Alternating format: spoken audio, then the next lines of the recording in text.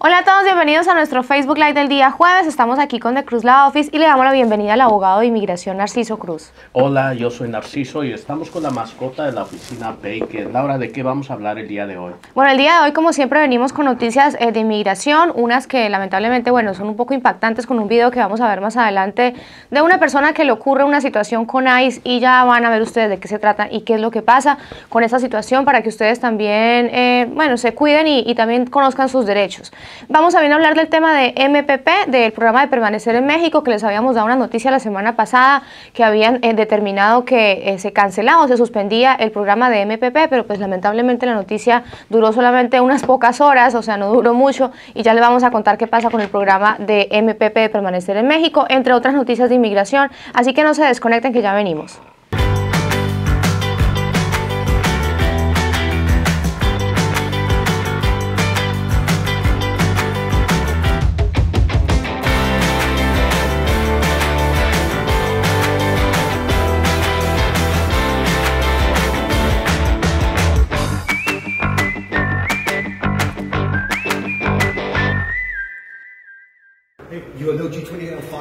You're interfering with me. Sir, I'm just, I, I represent him. She's Rachel allowed to. United States Department of Homeland Security. I have a warrant for your arrest for being unlawful present in Where's the warrant? Speak English? Yes. Where's the warrant? I have a copy of it in my car. sir. No, that's not acceptable. Sir, That is not acceptable in the law. You must show him a warrant before you arrest him. I have the right to be. No, you do not. Oh, gee, so now it's a warrantless arrest? You Bueno, Narciso, y lamentable, bueno, este video ahí vemos cómo mm, se da esta situación, este altercado en corte. ¿Qué nos puedes decir tú con respecto a esta situación que ocurre allí? Lamento diciéndote esto, Laura, pero no es algo nuevo. Yo he visto esto en mi propia carrera, con mis propios clientes que ha pasado esta situación. Yo he tenido clientes que han ido a su audiencia de corte y allá eh, no tiene que ver con tema de inmigración, es una corte del estado, eh, una corte superior de California, van a esa corte y los arrestan, lamentablemente no van y no pueden asistir a esa corte. El juez eh, de la corte les da una orden de arresto por faltar la corte y ahora ellos se encuentran en un centro de detención, tenemos que pelear una fianza, salen bajo fianza y tenemos que regresar a la corte explicándole al juez qué sucedió aquí. Y lamento, Laura, diciendo que eso es un caso con suerte que le dieron una fianza a mi cliente. Algunas veces Wow. jueces ah, pueden negar fianzas, pero esto no es algo nuevo. Sí quiero comentar algo. Eh, recientemente, año 2020, actualmente el estado de California, y aplaudo yo esto, ha pues eh, prohibido que la agencia de ICE haga arrestos adentro de una corte. Igual aquí lo que estamos viendo, novedades de este caso, es que ahora más que nada la, lo- la gente en poder ha eliminado que ICE pueda entrar a estas cortes en, este, en esta ciudad. eh, En Filadelfia, ¿qué es lo que es lo que pasó aquí precisamente Narciso? Porque se dice que, pues a raíz de que este video se hizo viral y las, y las personas empezaron como a protestar, este video pues hizo que el director ejecutivo del condado firmara una resolución para prohibir a ICE arrestar indocumentados sin la orden de un juez dentro de una corte. Perfecto, Laura, eso es algo excelente. Y te voy a decir por qué esto es importante. Eh, lo que está haciendo ICE es poniendo miedo en la comunidad. Toda la gente, no importa que sea acusado de un crimen o que vaya a una corte familiar para pelear quizás custodia de sus hijos o tratar de obtener un divorcio o una corte para obtener una orden de restricción contra un abusador o una persona, tiene derecho a esa audiencia. Lo que estamos haciendo aquí cuando ponemos a una agencia de ICE adentro de una corte es que le estamos diciendo a la gente no vaya a su corte, Claro. hay peligro allá. Y eso es algo terrible. ¿Por qué? Porque una persona tiene derecho de ir a esas cortes y responder cargos, eh, quizás cargos criminales que lo están acusando y ellos están presumidos inocentes hasta que eh, lo encuentren culpable o se declare culpable o eh, contra una orden de restricción o poner esa orden de restricción o pelear por custodia de sus hijos. Esto es algo terrible cuando hay, eh, más que nada se meten las comunidades, especialmente en eh, eh, cortes donde una persona pues quiere justicia, que venga eh, a favor de ellos para pues un proceso legal que no tiene que ver con temas de inmigración. Sí, Narciso, es lamentable esa situación que ocurrió allí, pero bueno, vemos que, como dices tú siempre, que el mejor, la mejor herramienta es tener un celular para grabar este tipo de cosas, ¿no? Tú has dicho que eso puede hacer la diferencia y mira que a raíz de que se grabó este video y se hizo viral, pues se hizo alguna gestión allí en esta ciudad para que no vuelvan a ocurrir ese tipo de situaciones. Es correcto eso, Laura, y es por eso que yo soy un top fan de gente que firma o puede más que nada eh, tomar video con su celular acerca de lo que sucede en sus comunidades. ¿Por qué? Porque tenemos una discusión acerca de inmigración, pasa leyes con el tema federal, pero también tenemos que enseñar el impacto que estas leyes tienen con el elemento humano. Y es cuando vemos a un joven siendo arrestado en una corte donde él pues está atendiendo a esa corte y pues eh, lo arrestan de repente. Esto pasa en la comunidad y tenemos que tener cuidado con estas cosas. Bueno, Narciso, y otras noticias también que, bueno, lamentables también tienen que ser pues negativas eh, con este clima político y todo siempre, eh, lamentablemente con inmigración siempre es un poco negativo y tiene que ver con el programa de MPP o como se le conoce en español, el programa de permanecer en México, que es para las personas que piden asilo en la frontera sur con México y que lamentablemente pues son devueltas a México para esperar a que sus procesos avancen. Recordamos que aquí les habíamos mencionado que se había dado una suspensión a este programa, pero la Corte Federal vuelve a permitir que el gobierno de Trump siga enviando a México a solicitantes de asilo. El mismo día que se bloqueó, ese mismo día eh, lamentablemente pues se reversó por parte de un panel de la Corte de Apelaciones del noveno circuito que votó por unanimidad ese mismo viernes para suspender esa orden que se había emitido temprano ese mismo día. Entonces fueron como unas pocas horas de celebración porque lamentablemente pues eh, lo vuelven a, a, poner en pie. Bueno, Narciso, ¿tú qué nos puedes decir entonces con respecto a esa situación que está pasando con el MPP?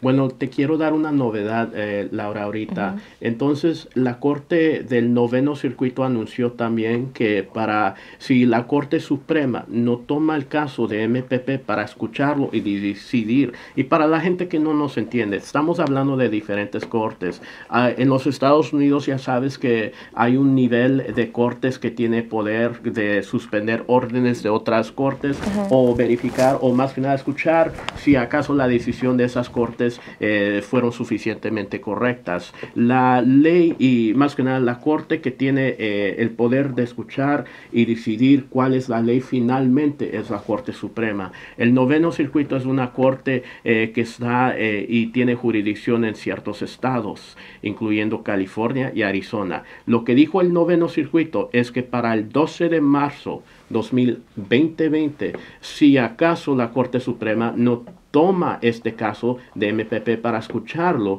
entonces la orden de ellos es final para el estado de California y Arizona y el programa de MPP se acaba en el estado de California y Arizona. Entonces vamos a esperar hasta esa fecha, 12 de marzo, para ver qué decide la Corte Suprema si va a escuchar este caso de MPP para decidir si acaso eh, si realmente MPP es un programa que no eh, más que nada conforme con la ley de inmigración. Eh, obviamente esto nada más aplica para California y Arizona, no para el estado de Texas. MPP ya sabes ahora que se está implementando en la, pues más que nada en las aduanas de México, los Estados Unidos, que incluye California, Arizona y Texas. Em, ahorita lo que estamos viendo en Nuevo México también, lo que estamos viendo aquí es que eh, más que nada esto nada más implementa ciertos estados actualmente y tenemos que esperar para el 12 de marzo para ver si la Corte Suprema va a tomar y escuchar este caso de MPP en tema de apelación. Bueno, Narciso, ¿y cuál es el parte ahorita entonces en la frontera? ¿Sigue entonces la gente pidiendo asilo allí y los devuelven para México? Lamentablemente eso es verdad. Eh, lo que yo sé es que sí había gente que intentó de entrar eh, pidiendo que los dejen entrar porque el programa de MPP se ha eliminado. De lo que yo sé es que lamentablemente no dejaron a nadie entrar durante ese tiempo breve que supuestamente esto era eh, algo que la corte del noveno circuito eh, dijo que era pues legal. Bueno, lamentablemente, pues esta noticia de MPP que todavía está allí como en el aire, vamos a ver qué pasa, más adelante les vamos a contar en caso de que ocurra algo el 12 de marzo, pues obviamente estaremos aquí contándoles a ustedes qué fue lo que ocurrió. Ahorita sí, Narciso, creo que vamos a entrar ya de lleno con las preguntas de temas de inmigración, que es la parte que la gente siempre está esperando que empiecen a participar aquí en los comentarios en las redes sociales. Eh, hay una pregunta que es de David Vázquez y dice, ¿cómo puedo arreglar a mi novia si soy residente? Te agradezco mucho esa pregunta, amigo. Entonces, tienes una novia, tú eres residente permanente de los Estados Unidos. Entonces, eh, normalmente cuando hablamos de novios, novias, novio, eh, lo que estamos hablando es la visa de prometido K1. Pero lamento, amigo, que tú no puedes hacer la K1, la visa de prometidos, fianza y visa, porque eres residente permanente. Tienes que ser ciudadano para tener eh, más que nada y tener el beneficio de hacer una petición para más que nada prometidos. Entonces, ¿qué falta y qué necesitas que hacer? Bueno, tienes que decidir si realmente esta novia va a ser tu prometida, tu, pues más que nada tu esposa en un futuro. Y el consejo quizás sería que construyas o hagas una relación familiar que te cases con esta persona, si acaso es que tú quieres eh, inmigrarla. Em, pero todos los casos son diferentes. No tengo todos los detalles aquí de este asunto. Em, no sé si tu novia se encuentra adentro de los Estados Unidos o ella está fuera en el extranjero. Si está fuera en el extranjero, me gustaría saber a dónde exactamente ella vive en el extranjero. Por ejemplo, Laura, yo siempre he dicho esto. Mucho cuidado con el matrimonio con un residente permanente y alguien del extranjero, porque algunas veces inmigración te va a obligar que enseñes que el matrimonio es legítimo por razones de matrimonio y no nada más para inmigrarla. En otras palabras, si acaso la única evidencia que tienes que te casaste y eres casado con una persona del extranjero es una acta de matrimonio, eso no es suficiente para inmigración. Tienes que enseñarles que realmente tienes una vida con esta persona como esposo, esposa o como pues esposo Aquí inmigración va a querer que tú demuestres que tu vida es realmente como casado y no nada más que tienes a una persona eh, casado legalmente una acta de matrimonio. Eso no es suficiente. ¿Qué tipo de evidencia quiere ver inmigración? Obviamente es cuando las partes se unen, evidencia, por ejemplo, de domicilio a los dos nombres, cuentas bancarias a los dos nombres, gastos acerca de facturas de servicio público a los dos nombres obviamente tú eres residente permanente y no puedes vivir en el extranjero, pero tan siquiera podemos construir ciertas cosas que pueden enseñarle y demostrar al servicio de inmigración que realmente, eh, más que nada, tienes una relación con esta persona. Sí, Narciso, eso de pronto es un poquito, eh, puede cambiar un poquito para las personas que tengan una relación, digamos, que estén aquí en San Diego y que de pronto tengan su pareja en Tijuana, ¿no? Porque pueden cruzar y es, es diferente, ¿no? Cambia un poquito las circunstancias. Correcto, porque eh, tú ya sabes, Laura, San Diego, California está muy cerca de Tijuana, Baja California. Es casi que, no sé cuántas horas, eh, no menos, como media hora, 20 como minutos. media, 30 minutos para llegar allá a México, a Tijuana y estar con tu, pues, otra parte y eso es muy conveniente para gente que tiene, pues, eh, que quiere arreglar aquí. Eh, y es muy fácil, no fácil, pero es muy eh, posible de construir esa vida juntos. Bueno, para las personas que se están conectando ahora y no saben quiénes somos, esta es la oficina de abogados de The Office. Estamos ubicados en el sur de California. Hay dos oficinas aquí en el área del sur de California, una en San Diego y otra en San Marcos. Si ustedes quieren obtener una cita para venir a hablar con el abogado, pueden llamar al número que aparece aquí en pantalla, que es el 619-717-2233. En caso de que usted nos esté viendo desde otro estado o desde otro país, igualmente puede acceder al servicio de asesoría telefónica, que el servicio está buenísimo porque usted lo puede hacer desde cualquier lugar del mundo, lo puede hacer a través de su celular, por Skype, por WhatsApp, por FaceTime, por cualquiera de estos medios y puede hablar directamente con el abogado Narciso Cruz. Ustedes tienen que llamar a ese número y allí les dan toda la información de cómo acceder a este servicio en caso de que usted no puedan ir hasta la oficina y pues el tema de la ubicación sea un obstáculo. Recuerde que tenemos teléfono celular, así que no hay excusas. Los invitamos a que llamen y puedan hablar el abogado para resolver todas sus preguntas de inmigración. Ahorita sí, vamos con otra pregunta que es de Cristian JM y dice, ¿Puede alguien con récord criminal de su país de origen pedir asilo? Te agradezco mucho esta pregunta, amigo. Entonces, el asilo eh, es para gente que no puede regresar a su país de origen por el hecho que ellos fueron perseguidos, maltratados, torturados y están pidiendo refugio adentro de los Estados Unidos eh, para escapar esas maldades. Eh, también tenemos que argumentar que estas cosas malas, estas maldades vinieron a la vida de esta persona por razones que ellos están bajo de una de estas cinco categorías protegidas por su raza, religión, opinión política, membresía en un grupo en particular, su nacionalidad es necia. Ahora me estás hablando de una persona que quizás tenga antecedentes penales. Ya sabes, Laura, inmigración tiene temas de inadmisibilidad. Eh, significa que cierta gente no va a ser admisible y para poder inmigrar. Eh, cuando una persona pide el asilo, está intentando de inmigrar adentro de los Estados Unidos a través de esta aplicación de asilo. Obviamente es como pedir la green card eh, a través de un ajuste de estatus, a través de un matrimonio. Si tienes antecedentes penales, si vas a ser negado por cierta parte ciertos beneficios. Pero lo bueno aquí es que quiero anunciar que hay diferentes niveles del asilo. Es el asilo, hay algo que se llama en inglés withholding of removal, la retención contra la deportación eh, y también está hay una, un tema que se llama protección eh, bajo em, la, el acuerdo de las Naciones Unidas contra la tortura y eso puede ser algo que puedes aplicar por el hecho que tengas antecedentes penales. No todos los antecedentes penales te pueden eliminar de pedir el asilo, nada más que es algo que un juez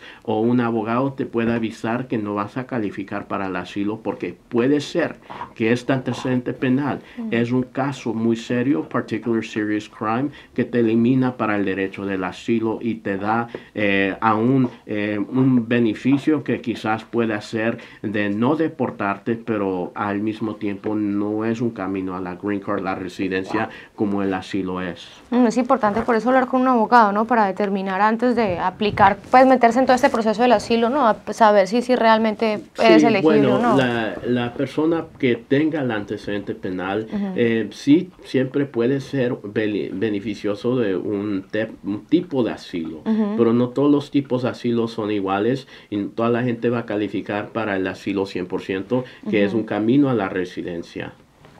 Bueno, ahí está entonces para de pronto Chris, si quiere tener eh, más eh, información a profundidad con el abogado, bueno, puede comunicarse al número que le vamos a poner por aquí abajo para que tenga una consulta con el abogado y puedan mirar a ver cuál es el récord criminal que tienes en tu país y cuáles podrían ser como eh, la, afectación que tenga tu caso.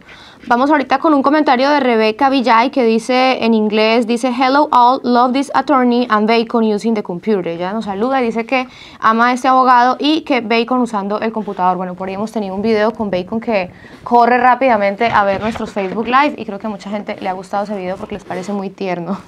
un saludo para Rebeca. Eh, Javier González dice, una pregunta abogado, ¿puede uno ganar una apelación y cuánto dura el proceso? Te agradezco mucho, amigo. Claro que sí. Puedes ah, eh, más que nada ganar tu apelación, pero la la, la, pregunta real, eh, me imagino, es eh, cuál es la, el porcentaje de ganar una apelación. Es algo muy difícil porque te voy a hablar como abogado. Todo depende en la fuerza de tu caso. Eh, obviamente no tengo tu caso enfrente de mí, no tengo tu archivo, no tengo el argumento que presentaste y tampoco sé qué tipo de apelación estás peleando. Es una apelación de temas de corte, es una apelación acerca de una negación para el ajuste de estatus.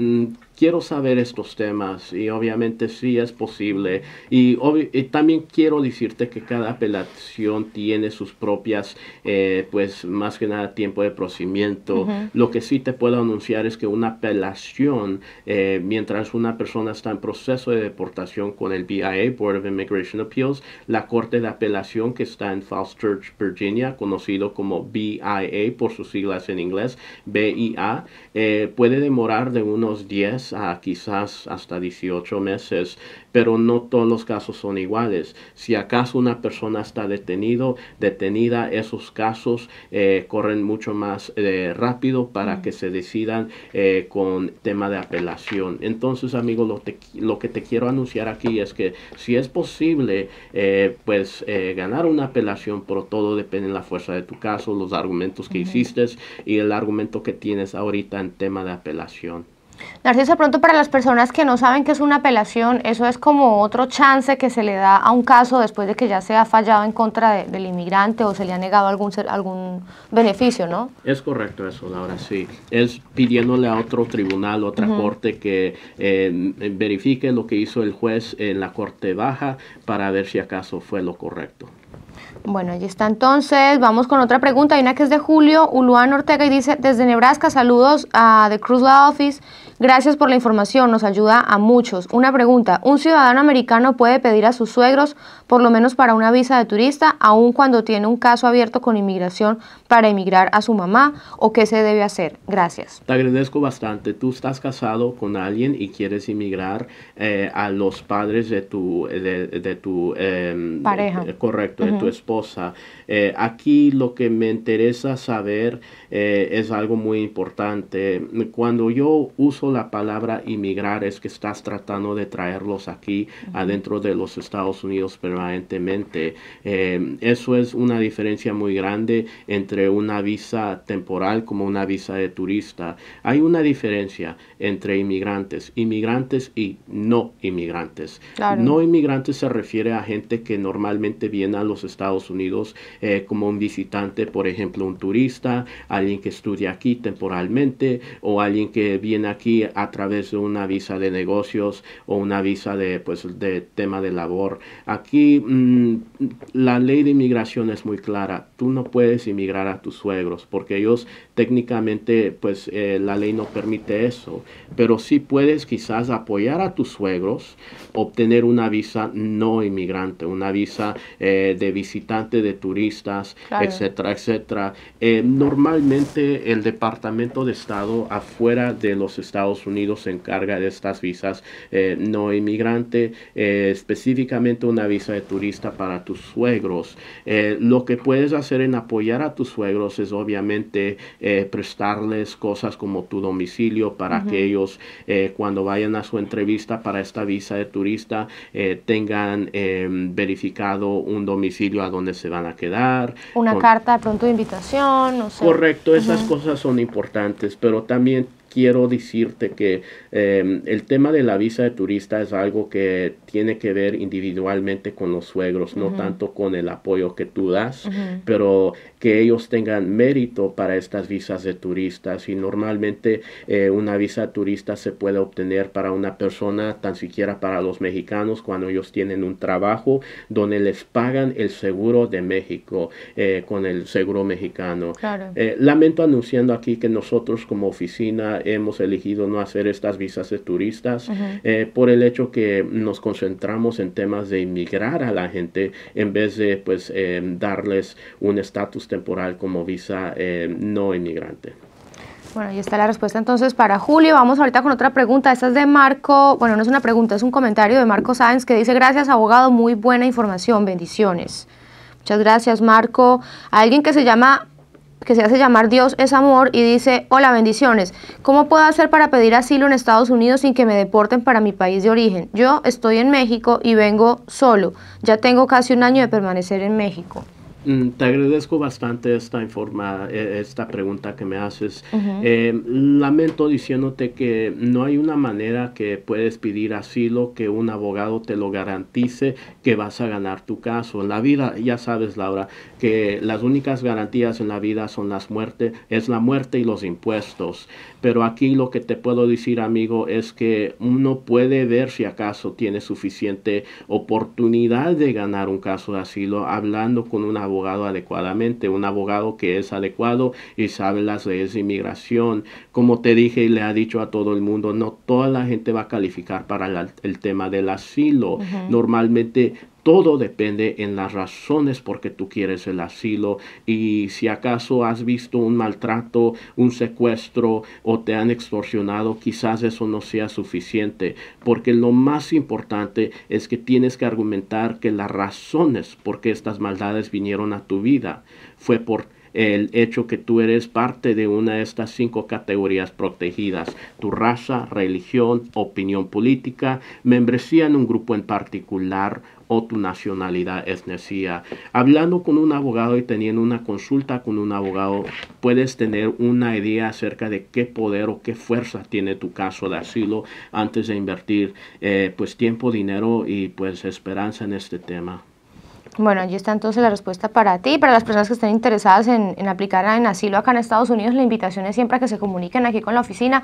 No importa si usted está en Colombia, en Venezuela, en México y está pensando en, en que tiene un caso de asilo y por qué no, que se pueda entregar allí en la frontera, pues lo importante es que usted se asesore antes de, de tomar esa decisión, porque igual de pronto si es un caso que realmente no amerita para un asilo, yo creo que pueden evitarse muchos dolores de cabeza también y, pasar por ciertas cosas cuando no hay necesidad. Entonces es bien importante que un abogado los pueda guiar que tenga experiencia con estos casos para que ustedes sepan en dónde están parados con su situación migratoria.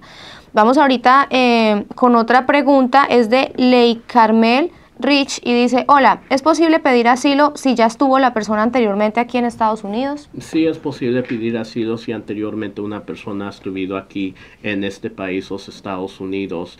Eh, normalmente tenemos que ver qué fue su posición anteriormente en los Estados Unidos. Por ejemplo, Laura, yo he tenido mucha gente que anteriormente ha tenido una visa de turista. Uh -huh ha venido a visitar a los Estados Unidos con esa visa de turista, obedeció las leyes de inmigración y regresó a su país ya del tiempo adecuado esa gente sí califica para el asilo, pero lamento diciendo que si una persona ha vivido aquí y después fue deportado o deportada, lamentablemente eh, sí califican para el asilo, pero va a ser un asilo limitado por el hecho de la deportación. Uh -huh. Entonces, Laura, realmente todo depende en la circunstancia y la posesión, discúlpame, la, la posición que ellos tenían aquí en este país mientras estaban viviendo adentro de los Estados Unidos. De este caso, eh, lamento diciendo que no agarré el detalle si acaso la vida anteriormente en los Estados Unidos fue una, una vida con una visa de turista o fue pues quizás algo que una persona no tenía derecho de estar aquí anteriormente.